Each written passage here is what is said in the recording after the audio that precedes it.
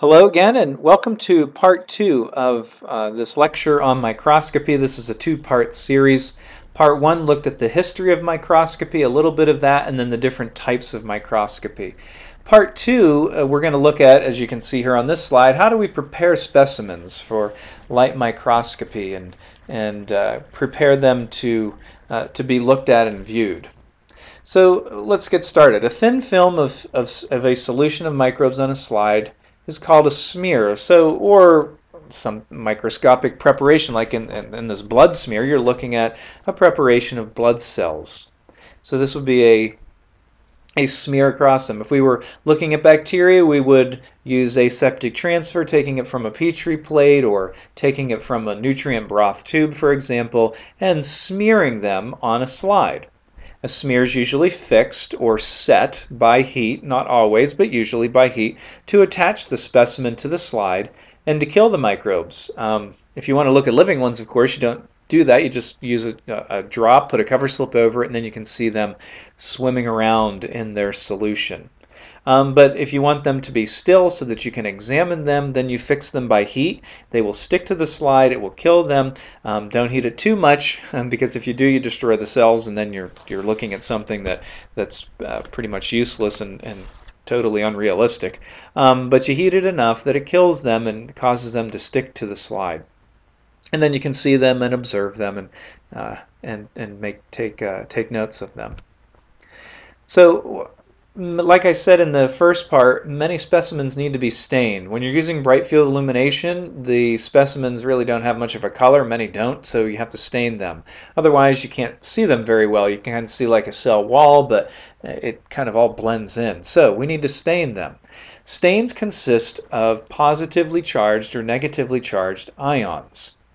Now, I'll explain in a minute why that's important. Why do stains What's the importance of having a charged particle? Well, in a basic dye, the chromophore, which is the colored ion, chroma comes from a Greek word that means colored. The chromophore is a cation, it's positively charged. And so what happens here with a basic dye, bacterial cell walls are negatively charged. So we have opposite charges here. We have a positively charged chromophore in the stain and the negatively charged cell wall. So therefore the stain is attracted to the cell wall, goes into the bacterial cell, and now the, the bacterial cell itself is stained.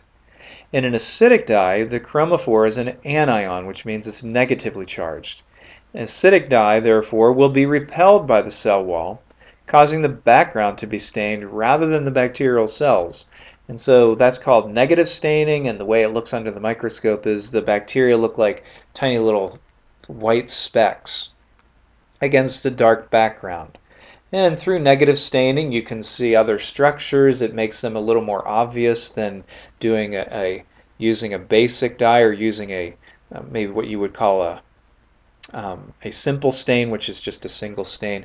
But what happens with negative staining is some other structures become more apparent than if you used a basic dye where you were just staining the bacterial cells. A simple stain is a solution of a single basic dye. And so that stain goes into the bacterial cell uh, and then you can you can see the cells against a light background. So the cells look dark, the background is light. Um, probably a common one, one that you probably used if in your high school bio class at least, or college bio classes was methylene blue.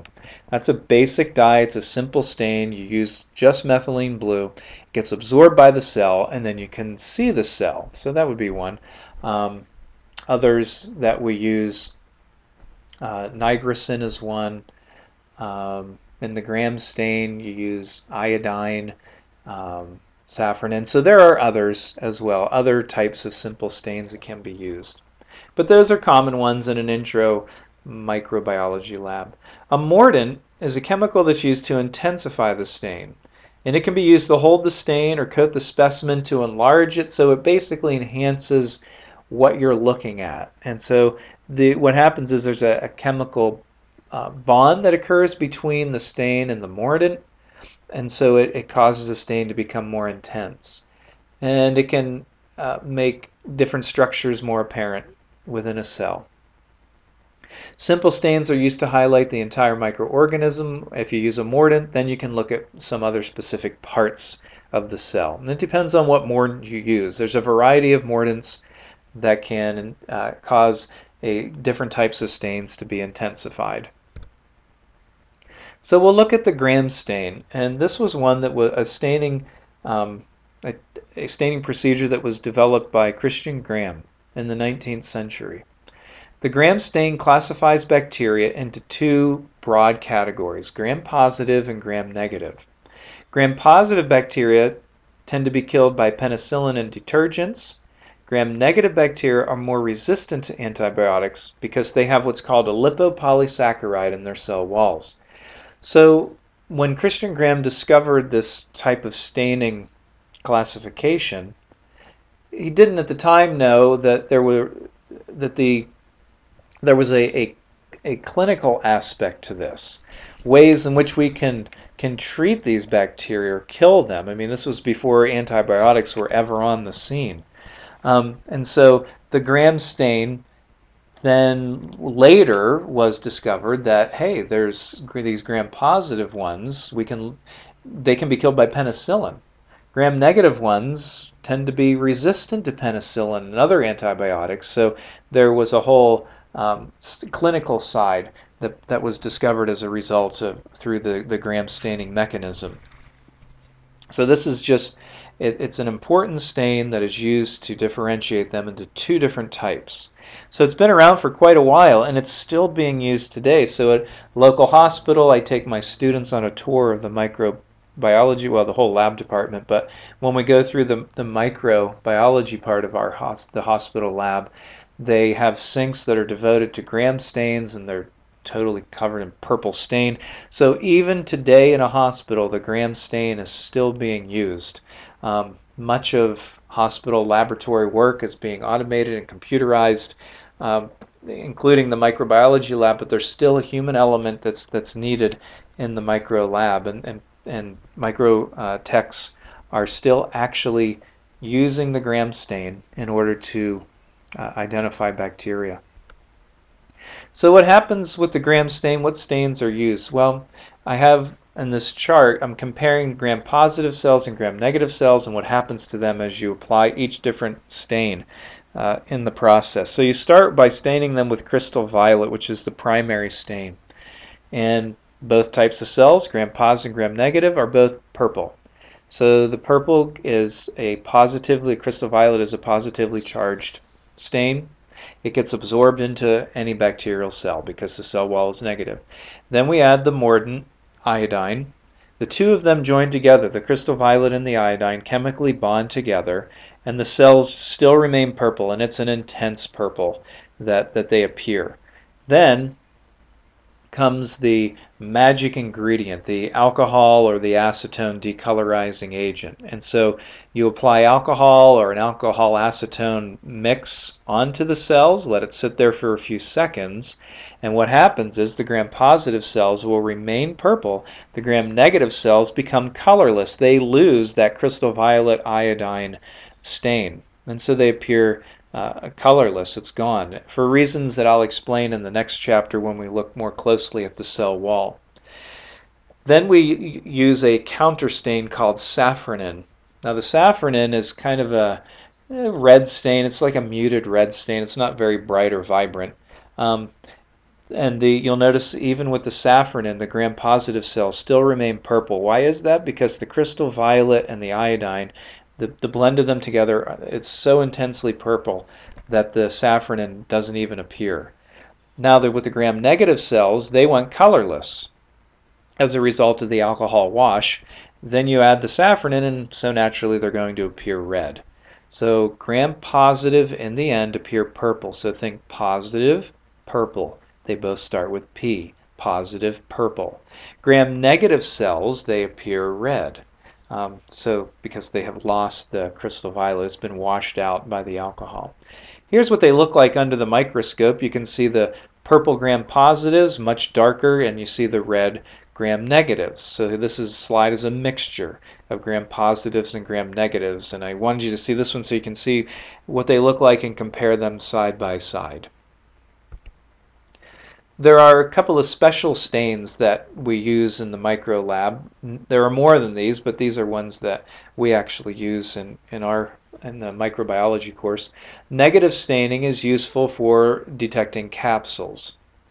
Um, if a bacterial cell produces a capsule, you can see the capsule more clearly by using negative stains. And it will show the thickness of the capsule if the stain is done correctly. And if the capsule is thicker, it's harder to kill that bacterial cell because the capsule is kind of like a suit of armor around it and it makes it more resistant to antibiotics and antimicrobials. So you can see with negative staining, the background is stained darkly. The capsule receives no stain. Now there's another stain that's used in negative staining that actually stains the, the cell. So you can see the capsule is kind of like a, a thick halo around the actual uh, organelles, the the um, not the organelles, but the cytoplasm and the nucleic acids that are within the cell membrane. So you have capsule, light colored, and then the rest of the cell is the is the darker specks that are inside the capsule. That's negative staining. Endospore staining uh, is used to detect the presence of endospores. Endospores are resistant to just about everything. Drying out, radiation, uh, chemicals, you name it, endospores tend to survive. It's like a it's like a, a hardcore hibernation for these cells. So the nucleic acids are inside the endospore. They're still viable nucleic acids, so it's kind of like it's a resting state. The endospore can come out of its resting state uh, and then become what's called vegetative. They can start growing. Endospores can be a real problem uh, for uh, people if you consume them and then they go into the vegetative state within the body then they start producing toxins and then that can be deadly in some cases. But there's a way that we can stain just the endospore because the endospore is is different than the actual living active cell. And so we have a staining technique that can be used for endospore staining. In this case you have to heat them to push or drive the stain into the endospores so with staining then what's what's the purpose of all this staining? And there are different types here other than gram stain and negative stain. There's an acid fast stain. There's flagellar staining. You can stain flagella bacteria to, uh, to see the flagella. So what would be the purpose? Well, initially to identify. Obviously, the stain enables us to identify the bacteria or to categorize them into, into gram positive or gram negative, for example. But in terms of a clinical aspect, because uh, this is a mainly a clinical microbiology course, how, how is that important clinically speaking? Well, if you can identify, then you can prescribe. So you know what you're dealing with, then the correct treatment can be prescribed, the correct medication, the correct antibiotic, whatever. This then enables to the uh, enables a a uh, practitioner then to treat whatever is is infecting the patient correctly with the correct antibiotic or with the correct medication. So staining is where it begins. And like in like I said in the hospital lab, micro is where the the the critter is identified. And then once the identification is made, then the correct treatment can be prescribed. So it's very important then to stain these different microbes so that you can make the correct identification um, and then be able to help the patient recover and, and get better. So that's the end of this chapter, chapter 3, this chapter on microscopy. Uh, just a, a shorter chapter, just giving you an overview of the different types of microscopy and the different ways that we prepare specimens for, uh, for use under the microscope. Hope you enjoyed this lecture and that it was of value to you. And uh, thanks, as always, for watching.